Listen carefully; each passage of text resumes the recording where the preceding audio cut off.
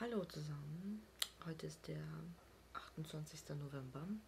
Ich sehe aus wie ein hässlicher Vampir. ähm, ja, irgendwie durch den ganzen Stress habe ich ur viele Pickel und alles reinbekommen. Keine Ahnung wieso. Naja, okay, Stress, aber trotzdem nervt mich. Ja, ähm, Umzugslok.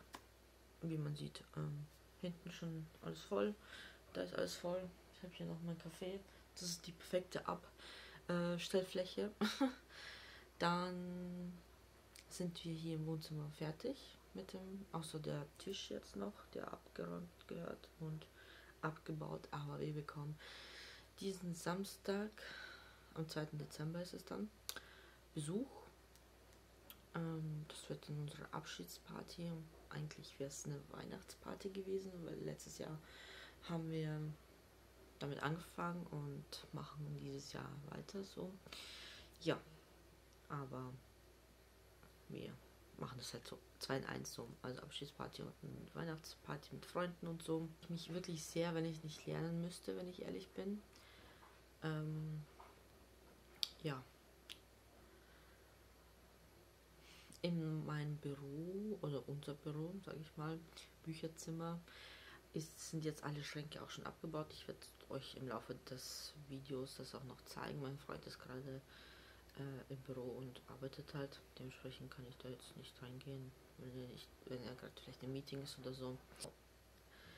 Ähm, ich höre momentan den zweiten Band von T-Buch, also Avenum ist Sweet and Darker, glaube ich, heißt der Band. Ähm, lese ich momentan im Buddy Read mit jemandem und haben wir den ersten Band auch schon gelesen. Ja, wenn ich so ein bisschen Zeit habe oder mir denke, okay, jetzt packe ich wieder weiter ein, dann mache ich das Hörbuch halt an. Aber ansonsten besteht mein Alltag hauptsächlich aus Lernen. Ja, ich kaufe auch nicht so viel gerade, das ist eh gut. Ich habe ähm, momentan jetzt noch von meiner Leseliste Dezember, genau, die habe ich ja schon abgedreht. Habe ich ja schon online gestellt, das weiß ich gerade gar nicht. Ja, auf jeden Fall diese Leseliste, die Bücher habe ich noch da, fast alle. Ein paar habe ich mir gedacht, so, das sind E-Book-Kandidaten und ich ähm, lese das E-Book ja viel langsamer, weil ich meistens E-Book lese, wenn ich äh, mich zum Schlafen lege. Aber in der letzten Zeit, in den letzten Tagen und Wochen war es eher so, dass ich ähm, zwar schon gelesen habe, ja, aber, also nehmen wir mal diese Woche jetzt, jetzt war, ich habe fast nur gelernt. Also ich habe gestern auch bis 3 Uhr nachts gelernt und habe dann noch eine halbe Stunde ein bisschen gele gelesen. Also ich musste ein paar Sätze nochmal nachlesen, weil ich einfach schon so müde war eigentlich. Aber kennt ihr das? Wenn euer Körper schon so müde ist und ihr seid so müde, aber ihr nicht einschlafen könnt, das Problem habe ich momentan sehr häufig. Ja, und dementsprechend habe ich mir gedacht, okay, wurscht, ich breche das Buch jetzt ab. Also nicht ganz abbrechen, sondern jetzt zum Lesen. Ähm, ja, und das war es dann auch schon so. Ähm, Im Dezember haben wir eine Leserunde. Wir lesen das Buch von Stella Tuck, also Black, Blackbird, genau. Das wäre dran. Ja, ich weiß nicht, wie ich mitkomme oder ob ich dann noch, muss ich mir noch überlegen, wie ich das da mache. Äh, ich glaube, ich habe das eh schon ein paar Mal erwähnt. Also die Schlüsselübergabe ist jetzt wirklich fix, fix, fix am 7. Dezember. Und das wird echt lustig sein, weil wir müssen da hinkommen um 9 Uhr morgens. Da ist der Bürgermeister auch dort und da jetzt so eine kleine Art Feier geben danach, nach der Übergabe. Äh, mit Musik, Orchester, so ähnliches, sowas. Und ähm, ja, dann gibt es auch noch Essen anscheinend. Ich weiß nicht, wie die das alles machen wollen, aber ist okay. Ähm, klingt auf jeden Fall mega cool. Also die Gemeinde hat da auf jeden Fall hat sich was einfallen lassen, weil normalerweise ziehst du ein und das war es dann so. Aber hier haben die sich wirklich ein bisschen was einfallen lassen, was ich richtig cool finde. Ja, genau. Also 13 Uhr ist dann das Essen und dann denke ich, das vorbei. Ähm, ja, Ich weiß nicht, wie lange wir jetzt dort bleiben werden, weil wir werden wahrscheinlich einige Kisten, die hier rumstehen, mitnehmen und dann wahrscheinlich auch schon lernen. Also wahrscheinlich werden es die Bücher sein, die wir jetzt mitnehmen, weil die Kisten, also dann packe ich die Bücher dort aus und die können die Kisten wieder mitnehmen, weil ich habe jetzt noch zwei Bananenkisten freie und das war es dann auch schon. Und wir haben halt noch Geschirr, einiges da. Noch einiges da, wirklich sehr, eigentlich noch wirklich viel. Also das Hauptgeschirr, also Teller und, und sowas halt. Das Töpfe, bla bla, das ist halt noch alles da. Habe ich noch nicht eingeräumt, also nicht weggeräumt, weil wir das ja noch großteils brauchen. Gläser habe ich jetzt auch schon halbiert. Dann habe ich ähm, meine Hefalbecher, was auch immer, ähm, Tasten auch schon drastisch minimiert. Der Rest ist schon alles eingepackt. Äh, Weingläser und Sektgläser und so, alles ist auch schon alles weggepackt. Sorry, ich habe Schluck auf. Ich glaube, ich habe noch drei, vier Biergläser dastehen, weil wegen des Feier am Samstag, da trinken ja einige Bier und vielleicht wollen sie das aus Glas haben. Dann steht es noch da. Ansonsten ist auch alles weggeräumt. Ja.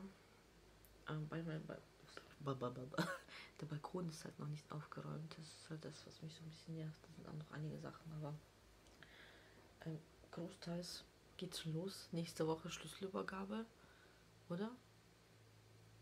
Ja, nächste Woche Schlüsselübergabe. Und am 11.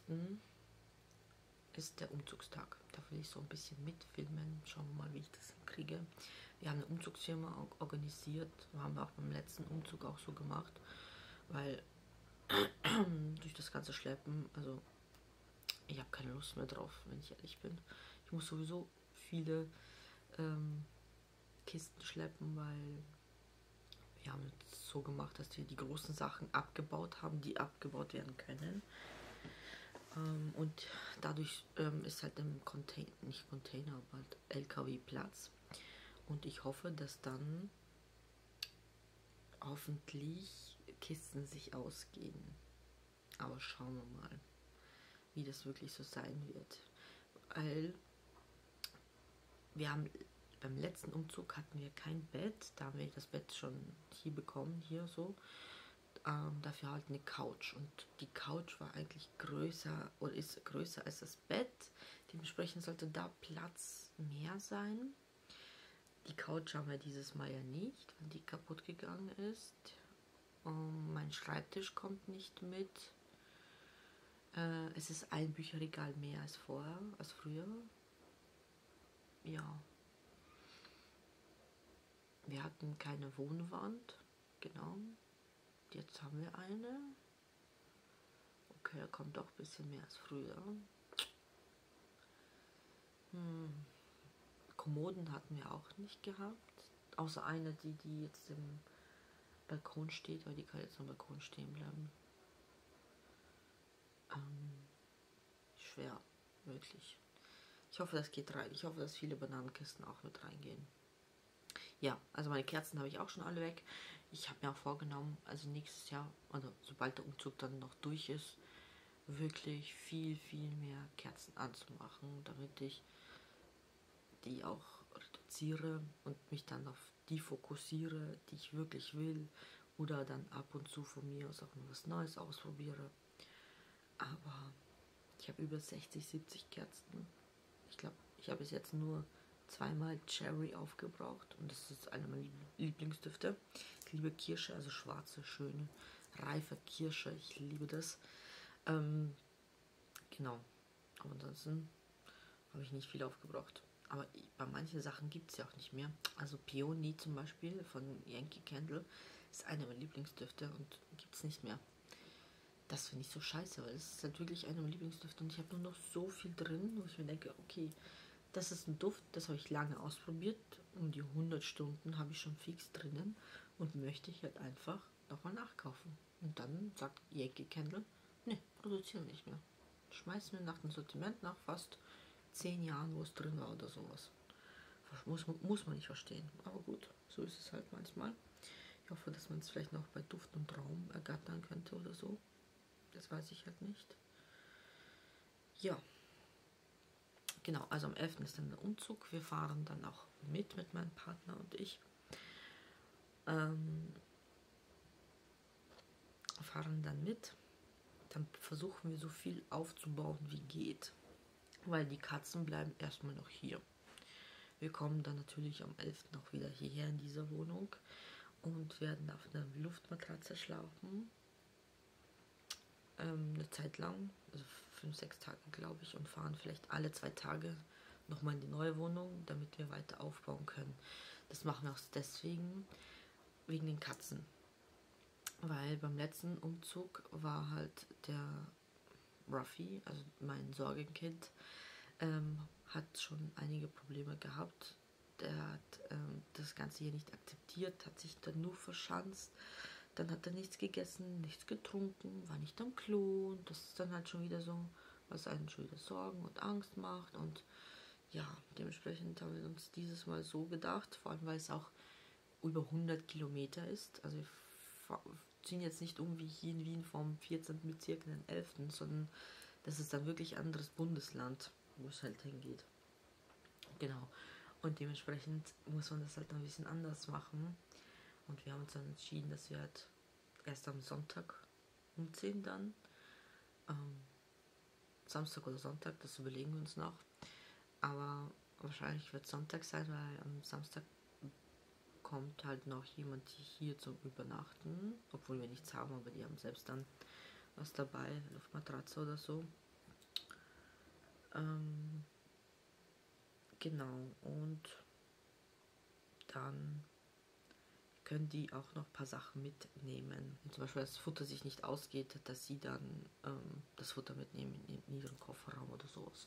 Genau, das ist dann halt ganz praktisch, dass sie dann da sind und uns so ein bisschen helfen können. Deswegen haben wir uns gedacht, so wird es halt der Sonntag sein, sonst wäre es der Samstag wenn sie sich jetzt entscheiden, dass sie doch nicht hier schlafen, also sie doch, doch nach Hause fahren und nicht in Wien bleiben, dann werden wir wahrscheinlich am Samstag weg, ähm, wegfahren, genau. Das ist der Plan, aber ich nehme euch Step by Step trotzdem noch so ein bisschen mit. ähm, genau. Wir werden dort eine Badewanne haben, das ist so geil. Also, ähm, ja, was, achso, boah, jetzt habe ich voll wir haben äh, Couch bestellt von Möbelix. Voll krass. Also wir waren am Donnerstag da vor Black Friday, wo schon voll viele alle Angebote rausgehauen haben, was weiß ich was. Und da halt einfach immer noch nichts. Dachten wir jetzt so, okay, ja, wird halt so sein. Dann haben wir Donnerstag bestellt und Freitag hieß es dann 10% auf alles. Ja, das ist uns dann am Sonntag aufgefallen, genau ähm, ja, Sonntag aufgefallen. Gestern war Montag, habe ich dort angerufen und meinte ja, wie ist es denn, wenn, wenn Preissenkung ist und das sind ja doch 100 Euro, die man dann spart und bla bla bla. Und dann meinte so, ja, äh, macht einen Screenshot und schickt uns eine E-Mail und wir, wir werden uns dann bei Ihnen melden. Das haben wir dann auch gleich direkt gemacht. Das war um 10 Uhr vormittags oder so, genau haben wir das dann erledigt und bisher ist noch keine Rückmeldung. Ich meine, es ist jetzt ein Tag und Black Friday, ich weiß, oder das jetzt war gestern Cyber Monday. Es geht drunter und drüber bei den Online-Shops. Ich weiß das. Ähm, ich hoffe einfach nur, dass es akzeptiert wird und dass sie dann auch sagen, so, okay, ja, machen wir. Kriegt die 100 Euro Rabatt ähm, und das war's dann. Weil das Ganze hat uns jetzt 968 gekostet. Und der Sofa, das Sofa selber hätte nur 850 ausgemacht. Aber es kommen Lieferkosten dazu von 119 Euro. Das verstehe ich halt überhaupt nicht. Wir haben dann nämlich äh, am Sonntag noch einmal dort bestellt, weil wir für unseren Keller so, so, so Regale gebraucht haben. So richtige, wie heißen die? keine Ahnung, diese provisorischen Regale wie beim, ich weiß nicht, ich kann es nicht erklären, ihr wisst hoffentlich, was ich meine. Ähm, die haben wir dann bestellt dort und da wäre Lieferkosten gewesen, weil wir, weil wir uns gefragt haben, holen wir es ab oder lassen wir es liefern. Und da, ohne Witz, sind die Lieferkosten einfach mal 95 Cent gewesen. Äh, das verstehe ich nicht. Ich meine, ja, ich weiß, dass die Couch größer ist, das ist mir schon bewusst so. Aber trotzdem, das, naja. Egal. Ich hoffe wirklich, dass wir die 100 Euro Rabatt bekommen. Oder fast 100 Euro, ich glaube es sind 85. Trotzdem, ich runde es mal auf. ähm, dann haben wir zumindest die Lieferkosten so ein bisschen gespart. Da ist es halt auch so, dass acht bis neun Wochen warten müssen. Das heißt, wir werden die Couch auf jeden Fall nicht frühzeitig, also nicht rechtzeitig bekommen, was uns eh irgendwo klar war. Äh, Küche haben wir auch neu bestellt, weil es ja Neubau ist und da ist halt oft so, dass keine Küchen dabei ist. Haben wir auch bestellt. Den Preis will ich euch gar nicht sagen, weil es ist einfach nur krank. Die Preise momentan, was die Küchen alle ausmachen. Und wir mussten sie halt selbst erstellen lassen, weil das eine lange Wand war. Und ähm, ja, naja, ich werde euch auf jeden Fall berichten, wie es war oder wie es sein wird. Ähm, morgen müssen wir auch zu, also wir haben es bei Müllmarkt gekauft, genau. Morgen müssen wir dorthin und dann wird es die Finalbesprechung sein, weil vermessen wurde es letzte Woche, genau, letzte Woche am Dienstag, also genau vor einer Woche. Und ja, morgen bekommen wir Bescheid, wie, ähm, also wie lange das dauert und ob wir sie, weil geplant wäre es Mitte Januar, ob das jetzt noch so sein wird, weil wir ähm, voll lange warten mussten, bis, bis es ausgemessen wird, ja. Äh, und das verschiebt sich dann alles wiederum. Ja, schauen wir mal, wie lange es dauert. Wir kriegen das dann auf jeden Fall morgen Bescheid. Da kann ich euch dann später auch noch ein Feedback geben. Genau. Mm, ich habe mir mein Zimmer schon, ähm, also ich habe ja ausgemessen, letzte Woche Dienstag, wo wir dort waren, wie groß mein Zimmer ist, was alles reingeht, komme ich mit meinen Schränken dahin, passt noch mehr rein und so weiter. Und ähm, dadurch, dass ich meinen Arbeitstisch nicht mitnehmen kann, weil der einfach schon, also mein Papa hat schon rumgeschraubt, rumgebohrt, also nicht gebohrt, aber geschraubt, dass er halt so bleibt und man kann ihn nicht mehr transportieren. Deswegen habe ich, war ich auf der Suche nach einem ähnlichen Schrank von mir oder Tisch oder einem gleichen, weil eigentlich finde ich ihn gut so, wie er ist. Und bin dann fündig geworden, aber ich habe es lang gesucht bei Ikea. Das sind solche Tische, die sind ähm, auf der Seite haben sie, oder man kann auch links oder rechts machen, ist ja egal, so, so, so Art Kajaks, ich weiß nicht, ob die die kennt äh, wo man halt so viereckige Fächer hat. So. Und das sind dann vier, genau vier Reihen. Dann kann ich dort volle Bücher hinstellen zum Beispiel.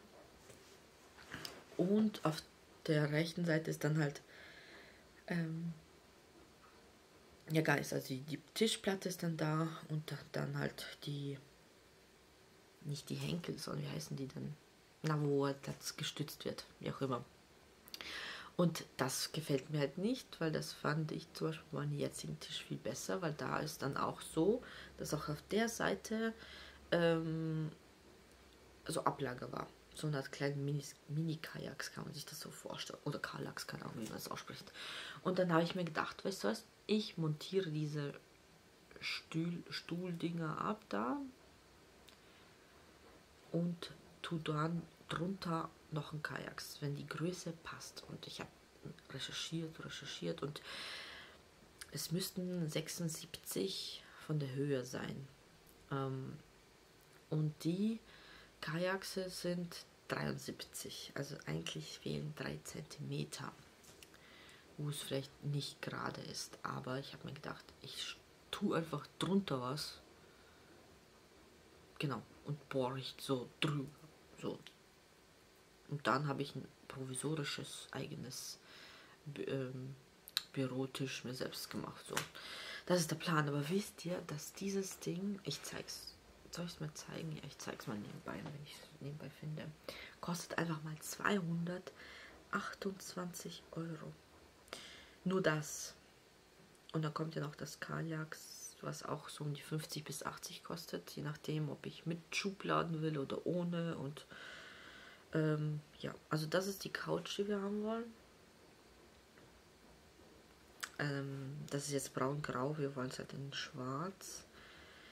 Genau, und dann zeige ich euch jetzt noch meine Büromöbel. Ja, also so sieht es aus. Diese Stützdinger, keine Ahnung wie die jetzt heißen, die montiere ich ab und tue dann drunter ein Regal. So ein kleinen Mini. Ja, und dann kommen hier halt so die ganzen Bücher halt hin. Ja, das ist der Plan. Also entweder wird es dann so drunter sein, ja. Oder es gibt auch welches mit Ja, schau, die ist sogar 77. Das passt sogar ganz genau. Und die kostet gerade jetzt, ja. Also ich finde es org. Schatz, 4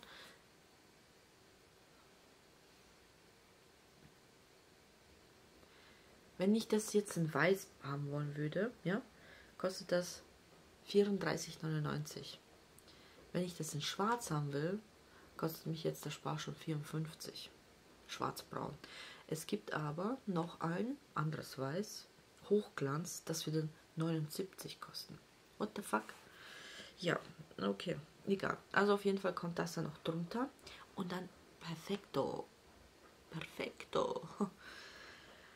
äh, das wäre auf jeden Fall mein Traum. Also Traum, meine Güte, meine Wün mein Wunsch. Man könnte zum Beispiel auch ähm,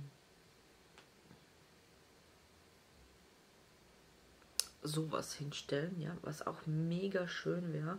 Dann habe ich hier so die zwei Flächen für, keine Ahnung, organisatorisches und dann hier so Schubladen. Aber das kostet 86,99 und es gibt es nicht in schwarz. Und das ist das, was ich nicht mag. Ich möchte halt ähm, versuchen, alles so gut es geht in schwarz zu haben. Das da gibt es zum Beispiel in schwarz. Äh, wie geht denn das denn auf?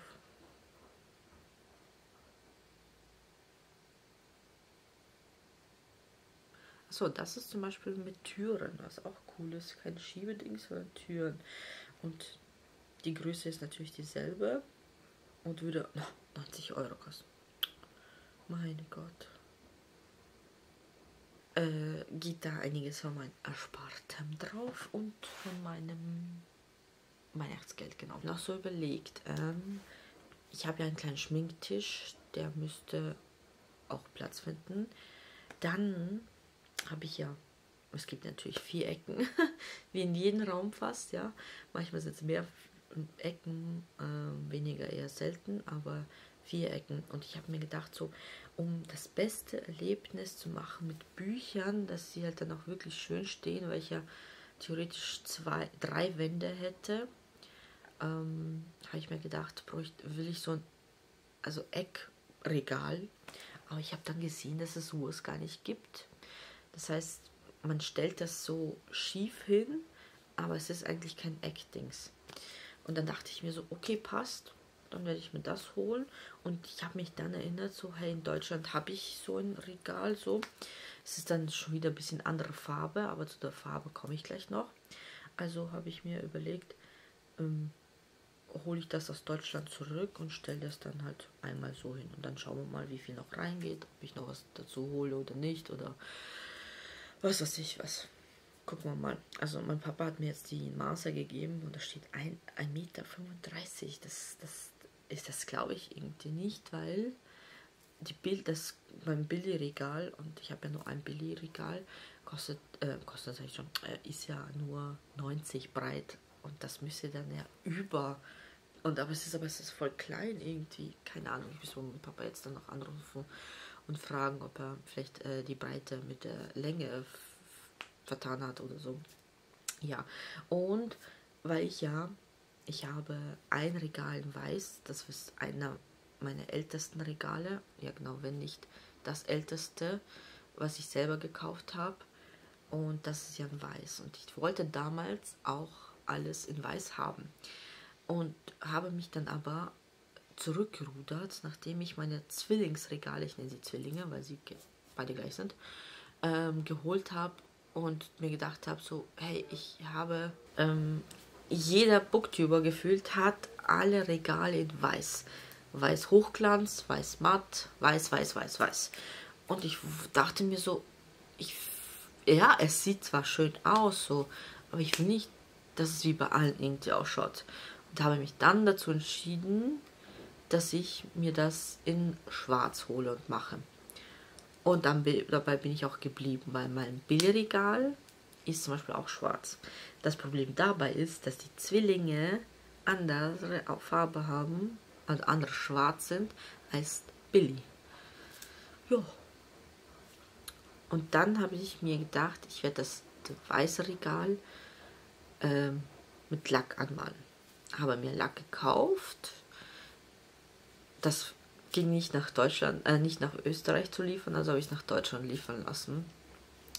Und werde, weil wir ja nächstes Wochenende, also nicht dieses, sondern nächstes, äh, nach Deutschland fahren, mitnehmen. Und dann, wenn wir schon umgezogen sind, kann ich es am Balkon mit ausreichend Schutz mal an, ähm, lackieren lassen. So.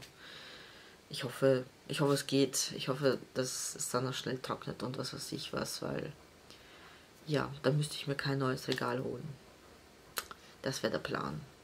Weil die Lackfarbe hat jetzt 3 Euro gekostet. Ist jetzt günstiger als jetzt ein neues Regal. genau. Ja, ich habe hab ich genug gelabert. Ich würde jetzt sagen, ähm, ey, wir sehen uns später, wenn ich so ein paar Eindrücke euch zeigen kann. Hallo zusammen, jetzt mal ein bisschen vom Offscreen, um euch zu zeigen, wie es gerade bei uns im Wohnzimmer ausschaut. Wie ihr seht, sie haben schon alles fast bis an die Wand gestapelt und sie sind komplett bereit für den Umzug. Wo ich jetzt gerade die Aufnahme mache, ist es jetzt nur noch zwei Tage bis dahin. Und ja, die Katzen sind auch schon ziemlich nervös, weil sie einfach noch nicht wissen ähm, oder sie wissen auch momentan nicht so, was genau passiert.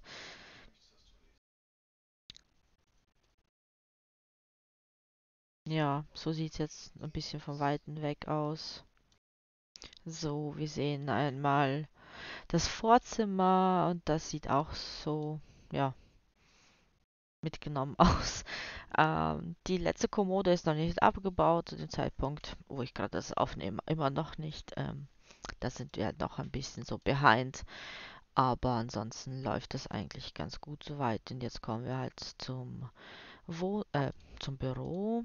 Und da ist wirklich alles abgebaut, äh, bis auf das äh, Trennregal, was wir noch nicht abgebaut haben, weil das kann man dann im Ganzen später mal mitnehmen, wenn die Bücher wirklich alle weg sind. Die Bücher, die ihr hier seht, ist es auch so, dass ich äh, entweder sind das die im Karton die, die ich mitnehmen will, also meine Neuzugänge oder Lesemonat von Büchern, die ich halt behalten will. Oder äh, das sind halt die Schubladen, genau. Ansonsten sind hier nur noch Bücher, ja, die ich eigentlich verkaufen oder hergeben will oder noch in den Bücherschrank kommen. Ja, viel ist nicht mehr da.